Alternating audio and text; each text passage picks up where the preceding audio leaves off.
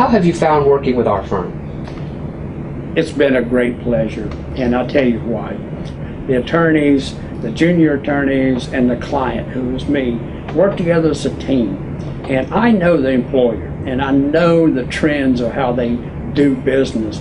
So when I incorporated that, it just made for a great team to get to a successful conclusion. I'm a disabled veteran who works for the federal government, and I had a very serious uh, employment issue with the federal government.